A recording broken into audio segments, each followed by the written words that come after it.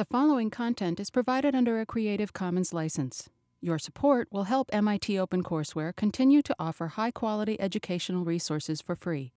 To make a donation or to view additional materials from hundreds of MIT courses, visit MIT OpenCourseware at ocw.mit.edu.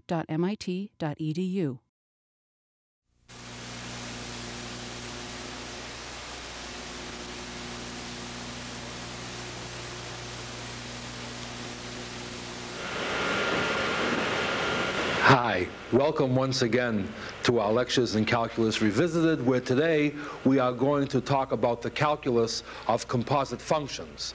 Now, recall that we have already mentioned in previous lectures the notion of a composite function, and what we're going to do today is to emphasize the idea as to how often we are called upon to find functional relationships where the first variable is given in terms of a second variable and the second variable, say, is given in terms of the third variable, and we wish to find, say, the first variable in terms of the third. In fact, here is where the name, the chain rule, seems to come from, a chain reaction, where the variables are related in a chain this way.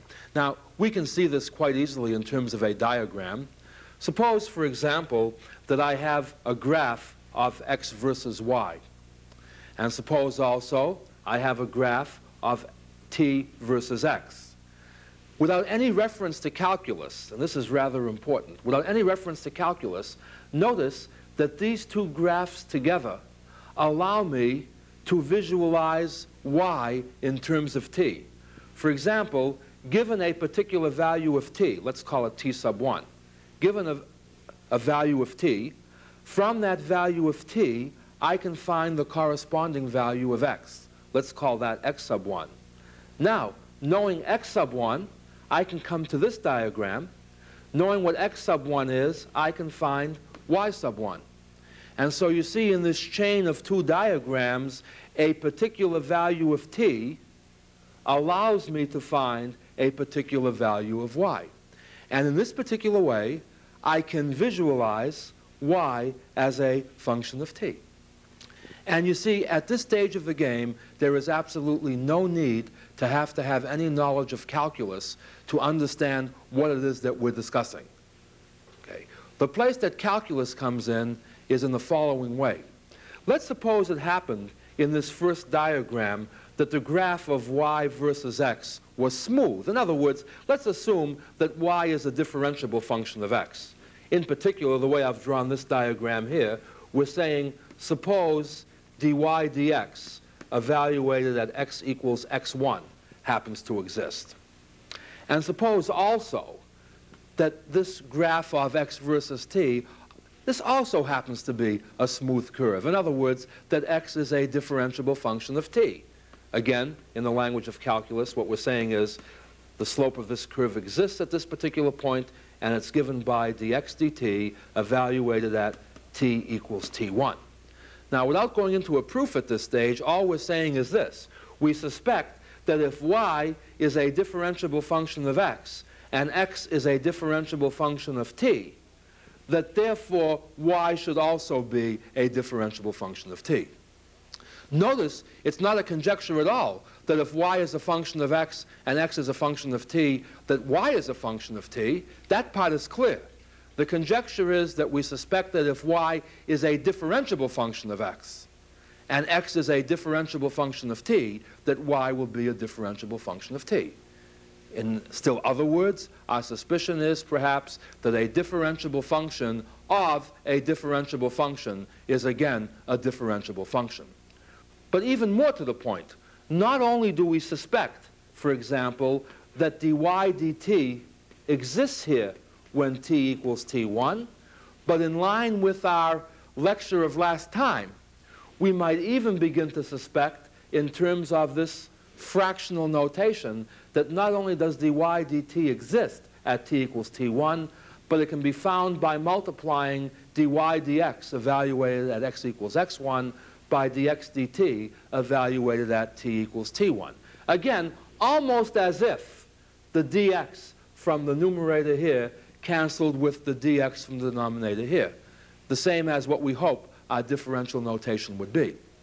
And the question is, granted that we would like a result like this to hold true, in a course such as calculus where we're working with very tiny numbers and quotients of small numbers, places where we've seen that our intuition often leads us astray, it becomes fairly apparent that we had better have something stronger than just intuition in helping us derive certain results, no matter how natural these results might look. Now, the way we proceed here is as follows again. And notice again the building blocks of calculus. We go back to the fundamental result of last time. You see, after all, to find dy dt, we want delta y divided by delta t, and then we'll take the limit as delta t approaches 0. The question is, first of all, do we have a nice expression for delta y? And in terms of the lecture of last time, we saw that if y was a differentiable function of x at x equals x1, that delta y was given by dy dx evaluated at x equals x1 times delta x plus k times delta x, and this is crucial now, where the limit of k as delta x approached 0 was 0. Now you see, this recipe here is ironclad. I emphasized it from a geometric point of view last time, but you may recall that I proved it from an analytical point of view. In other words, whether you want to visualize this or derive it, it makes no difference. The key fact is that this statement here is ironclad. It's something that we now know to be true in our so-called game of calculus. The point is, again, now, how do we use this to check over our conjectured result? Again, the answer is almost straightforward. If you keep track of these things, you'll notice that calculus is a one-step at a time procedure. Namely, we want dy dt. That suggests we first want delta y divided by delta t, and then we'll take the limit as delta t approaches 0. So first we do this. Namely, starting with our known recipe, we divide through by delta t. And why can we do this? We can do this because, of course, delta t is not 0. Now we take the limit of both sides of the equality as delta t approaches 0. We observe that on the left-hand side, the limit of delta y divided by delta t as delta t approaches 0 is precisely dy dt and in this particular case, evaluated at t equals t1. In other words, notice that the left-hand side here, as we let delta t approach 0, becomes the left-hand side of our conjecture. Now we recall again that the limit of a sum is the sum of the limits. And we now take the limit of each of these terms separately. Each term is a product. The limit of a product is the product of the limits dy dx evaluated at x equals x1 is a constant. In fact, that's just what? It's dy, the limit of dy dx evaluated at x equals x1 as delta t approaches 0 is just dy dx evaluated at x equals x1. On the other hand, by definition, the limit of delta x divided by delta t as delta t approaches 0 is just dx dt. And keeping track of the subscripts here, later on will become sloppy and leave these subscripts out. There really is no great harm done in calculus of a single variable. We shall find in calculus of several variables that it is extremely important to keep track of the subscripts and what variables are, where the variables are being evaluated and things of this particular type. But I just want to get you used to the fact that these are specific numbers that we're using over here. Now, let's continue. We take the limit of this term as delta t approaches 0. We observe that this becomes dx dt.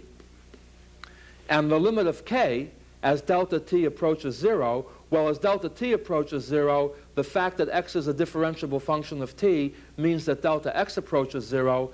And since the limit of k as delta x approaches 0 is 0, this term becomes 0. 0 times anything is any finite number is 0, that means that this term here in the limit becomes 0, and we're left with the desired result. But notice that we did not arrive at this desired result by hand waving. We did not say this term delta x is getting small, so it's becoming negligible. I can't emphasize this point enough, that it is true that delta x is becoming small here, but so is delta t, and that indicates essentially your 0 over 0 form And the thing that saves us, the thing that makes this whole term drop out, is the key fact that k itself goes to 0 as delta x goes to 0. By the way, there are easier ways of intuitively trying to remember the chain rule. For example, one way that people often try to visualize the chain rule is this. They'll say, okay, we want dy dt, so let's take delta y divided by delta t, and then we'll take the limit as delta t approaches 0. Now you see, in this notation here, delta y and delta t are actually numbers. As numbers, we can write these things in fractional notation, and we could write what? That delta y divided by delta t is delta y divided by delta x times delta x divided by delta t. Then we could take the limit as delta t approaches 0, and we would arrive at the same result, but again, without trying to uh, make this thing too obnoxiously long here, the thing to keep in mind is that x is a function of t. And from a rigorous point of view, the danger with this shortcut technique, and it can be patched up but requires a great deal of mathematical analysis, the danger here is that as delta t approaches 0, it's quite possible that delta x will be 0. In other words, it's possible that for a given change in t, there is no change in x. Now, if delta x happens to equal 0, then we're in trouble over here. In other words, in many cases, this shortened version gives us an idea as to what's going on, but our so-called longer method has no pitfalls to it. But enough said for what, the, for what this recipe is. This result is known as the chain rule. This result is known as the chain rule, and this will be the topic of the rest of today's lecture. Now, let's take a look at some of these things in a bit more detail. For example, let's look at, an illustration. Suppose we want to find dy dx if y is equal to x squared plus 1 squared. Let me first do this problem the wrong way. Let's put a question mark over here. And, you know, people learn things like what? Bring the exponent down and replace it by 1 less. Now, certainly, if I bring the exponent down here and replace it by 1 less, this is the answer that I get. Of course, the question is, is this the right answer? Well, you see, notice one very nice way about finding out whether an answer is wrong is to first find out by another way which is the right answer. For example, if y equals x squared plus 1 squared, it happens that we know how to square this thing. We can find directly that another way of expressing y is what? It's x to the fourth plus 2x squared plus 1. But we have previously learned how to differentiate a polynomial. The Derivative polynomial is what? This is going to be what? 4x cubed plus 4x. And you see, somehow or other, this does not seem to give, if this is the, well, for one thing, we see that these are two different answers. For another thing, if this is the one that happens to be the right answer, this is the one that is the wrong answer. And since we know from previous material that this is the right answer, there is something wrong with this, regardless of how right it might look. In fact, how much are we off by over here? If we factored out a 2, in other words, if we factor this thing out, what can we do? We can write this as 4x times x squared plus 1. And what we really had over here was twice x squared plus 1. It seems that the correction factor is 2x. Now, again, notice that the derivative of what's inside the parentheses over here just happens to be exactly 2x. Now, how does the chain rule come into play in a problem of this type? You see, the thing is that what we should do over here is rewrite this. Namely, for example, let u equal x squared plus 1. Then what this says is what? y is equal to u squared, where u is equal to x squared plus 1. See, this is just another way of writing this, and in this particular form, the chain rule seems to be emphasized more. You see, y is a function of u, u is a function of x. Notice that from the first equation, it is relatively easy to find dy du. In fact, it's just what? 2u. We'll write that down later. The, from the second equation, it's easy to find du dx. And by the chain rule, all we're saying is that dy du times du dx is dy dx. See, what will that give us in this case? dy du is 2u, du dx is 2x. That gives us 4x times u. u is x squared plus 1. And so this becomes 4x times x squared plus 1. And if we now compare this with what was the correct answer, we see that in this case, everything worked out fine. I suppose what we should do here is to comment now on the danger of mem memorizing recipes without thoroughly understanding them. The idea that said when you want to differentiate something raised to a power, that you bring the power down and replace it by one less, hinged on the fact that the thing that was being raised to the power was the same variable with respect to which you were doing the differentiation. You see, for example, when we had y equaled x squared, and then we wrote that dy dx is 2x, the thing that was important over here was the fact that what? The thing that was being raised to the second power is precisely the variable with respect to which we were doing the differentiation. You see, in the problem y equals x squared plus 1 squared, the thing that was being raised to the second power was x squared plus 1. The variable with respect to which we were differentiating was x. In other words, to write this thing more symbolically, if y is equal to something squared.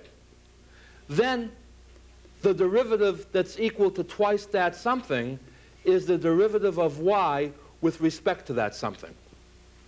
You see, the place the chain rule comes in is when the variable which appears here is not the same as the variable which appears here. And we'll see this in greater detail as we go along. By the way, the chain rule comes up in another form known as parametric equations, and this form comes up very often. It's a twist of what we were talking about before. This is the situation in which frequently we want to compare two va variables. Let's call them x and y. All right? And it happens that both variables, x and y, can be expressed more simply in terms of a third variable, t. And frequently what one does is tries to talk about the relationship that exists between y and x in terms of eliminating t between these two equations. By the way, in terms of differential language, there seems to be an easy way of handling this. Namely, you see, if we differentiate the first equation, we get what? That dy dt is f prime of t. If we differentiate the second equation, we get that dx dt is g prime of t. Now, if, as we said in our last lecture, we can pretend that this is really a fraction, that it's dy divided by dt. In other words, if we think of dy as being delta y tan, of dx as being delta x tan, and dt as being delta t, it would appear that we could say what? That dy dt divided by dx dt would just be what?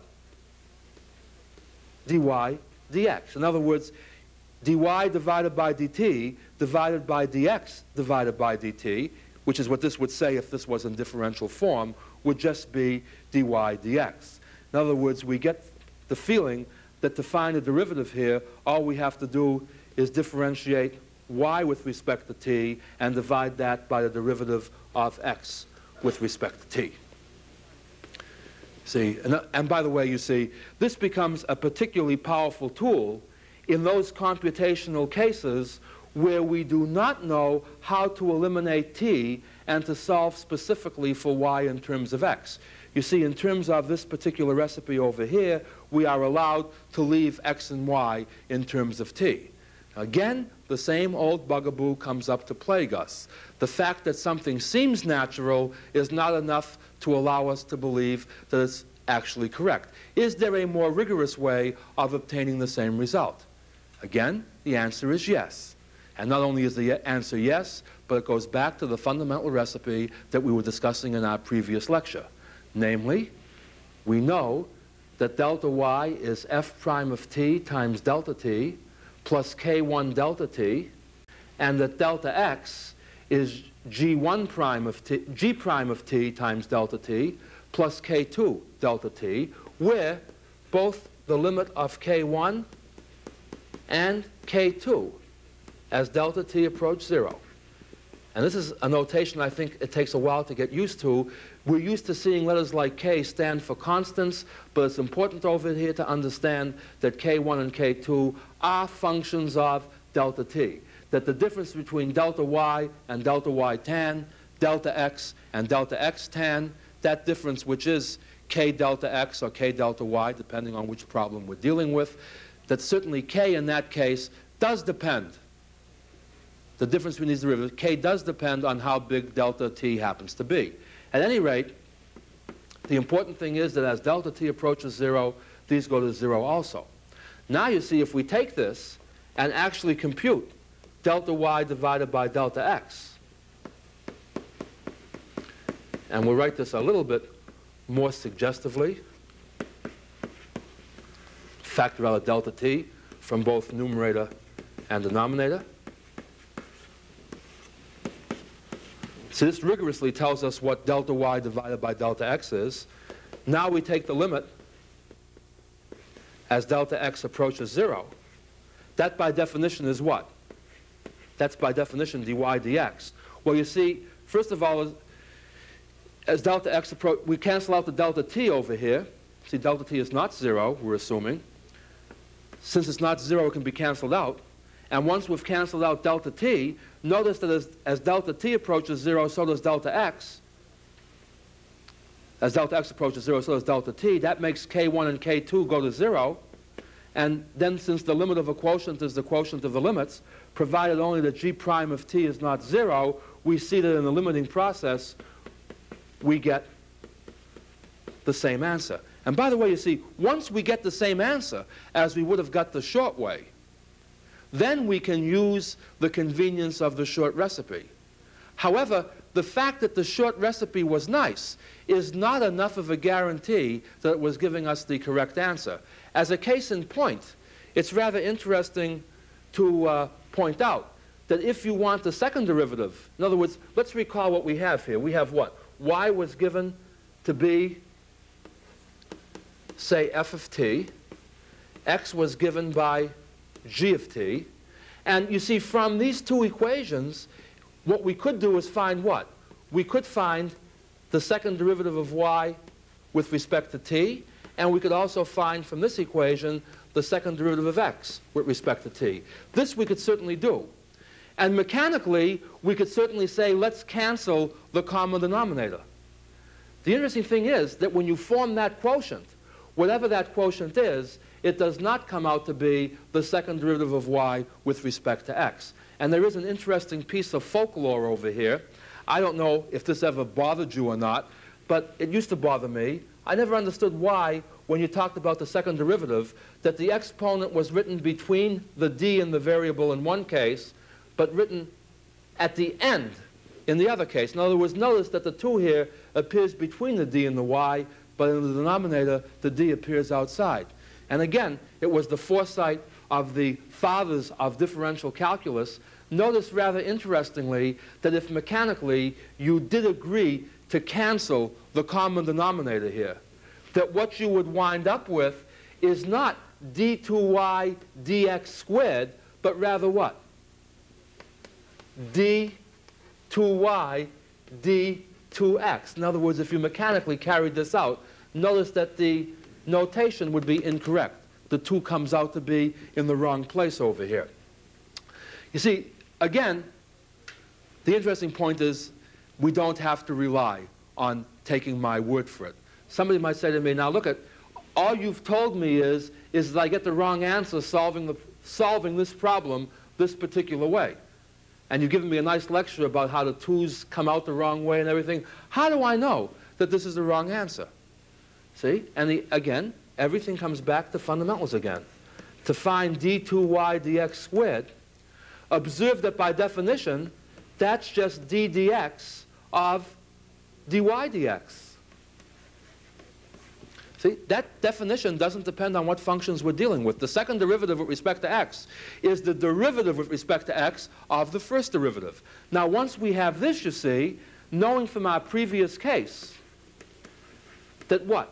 Dy dx was f prime of t divided by g prime of t, we can now do what? Take this derivative. By the way, again, notice how the chain rule comes up in practice. It's not always dictated to us. If you look at the expression inside the parentheses, what do we have? Inside the parentheses, we have a function of t only. This is a function of t.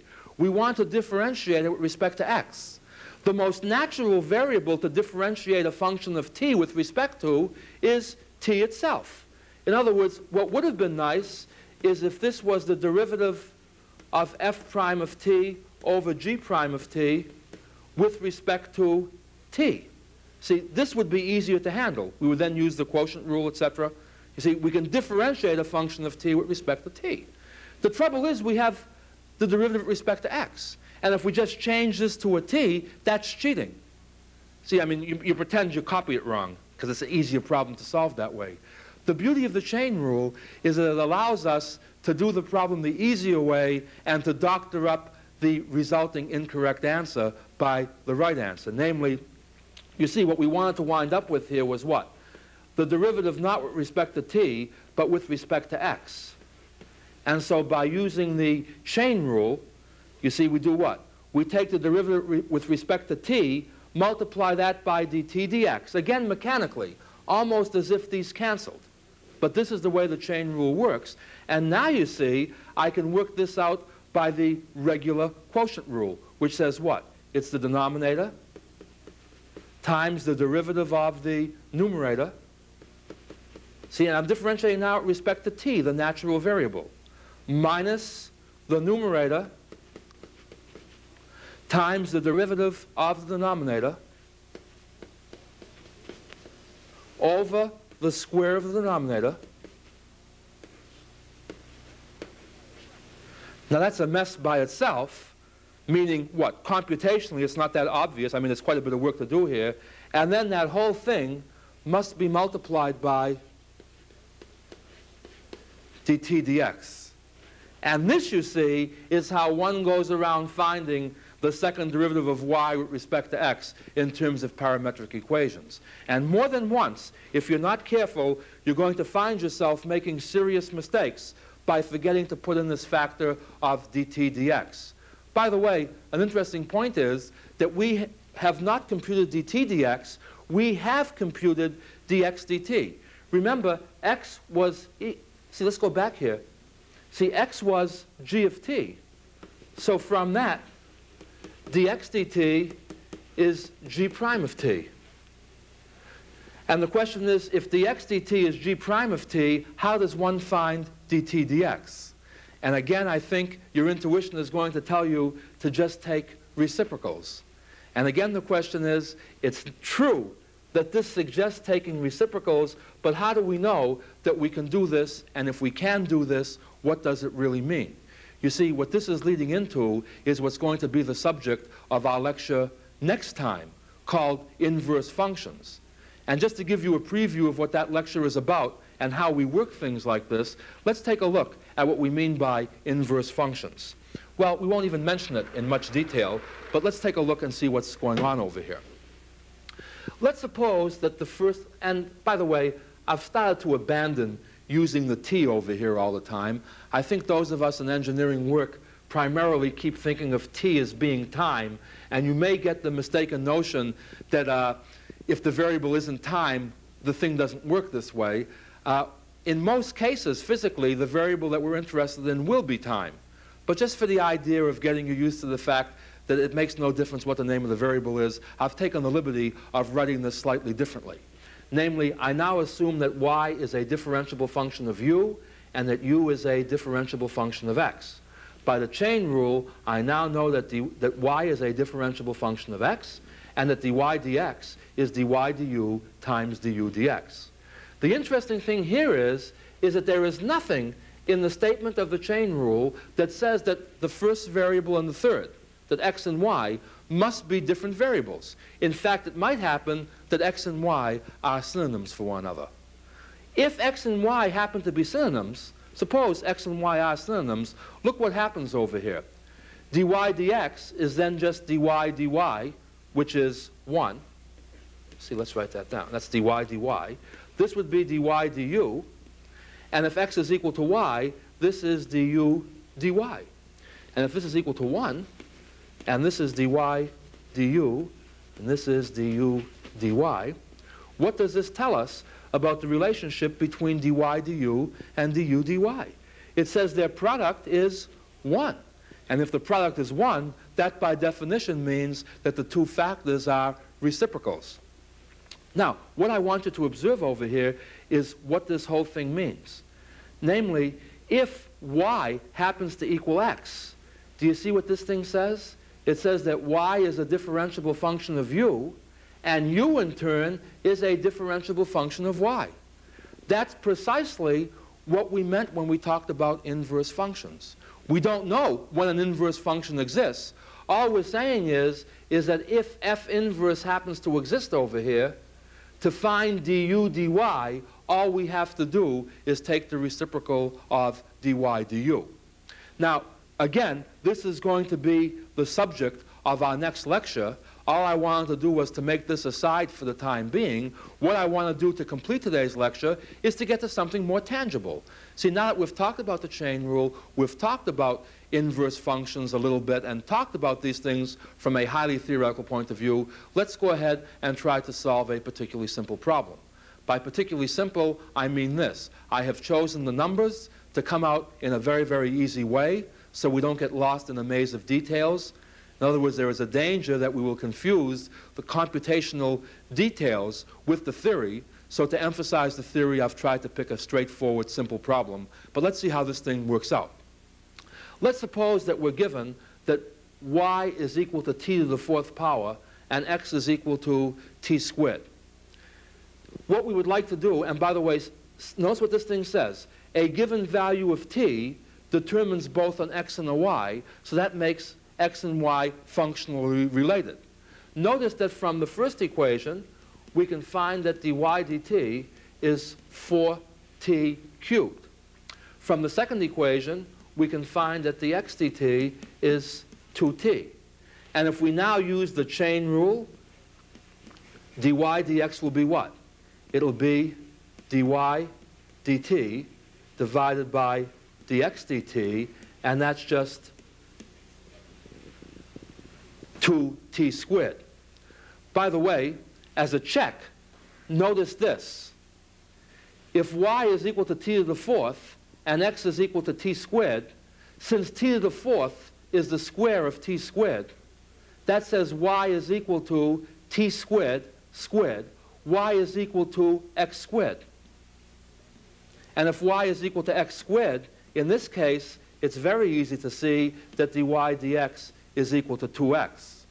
By the way, when we try to compare these two answers, they look different, but that's because they're expressed in terms of different variables. If we return to our original equations and we see that x is equal to t squared, x is a synonym for t squared, this is the check that we have received the right answer. By the way, before I conclude today's lecture, I would like to make a rather important aside about parametric equations. After one works the problem this way and comes down to the check and says, hey, after all of this mess over here, I could have replaced it by just y equals x squared. Why did I have to work with this in the first place? We are going to have many, many examples throughout the course that will illustrate this, but at least once in a lecture, I would like to go on record as pointing out that this pair of equations tells you much more than this equation here. This equation simply tells you this. If a particle were moving along a curve with respect to time, according to these equations, this equation here simply tells you what path the particle would follow, namely the parabola y equals x squared. On the other hand, these two equations tell you much more than that. These not only tell you that the particle moved along the parabola y equals x squared, but rather it tells you at a particular time the point on the parabola that the particle was at. What I mean is this, as another example, suppose we had y equals t squared and x equals t. If we eliminate t from these two equations, we also find that y is equal to x squared. Yet notice that this is not the same as our original set of equations. For example, here, when t is 2, when t is 2 over here, what point are we on as far as the parabola is concerned? When t is 2, this is 2 and this is 4. That would be the point 2 comma 4. On the other hand, with respect to this equation, when t is 2, x is 4 and y is 16. You see, both of these particles, both of these particles would follow the same curve, but they are at different points at different times. So don't belittle the parametric approach. Having the parameter t in there tells you more than just what the path of the motion is. It tells you at what time a particle was at what particular point. Well, enough about that. Let's go ahead and find the second derivative now. You see, we already know that dy dx is 2t squared. Now what we'd like to find is d2y dx squared. Again, the same basic definition. d2y dx squared, the second derivative is the derivative of the first derivative. That's, but the first derivative we saw was 2t squared. So this is the derivative of 2t squared. Again, and this is where most of the mistakes are made, people get sloppy. They forget the x's in here. They say, I know the derivative of this. It's 4t. Well, the derivative of this is 4t with respect to t. We want to differentiate with respect to x.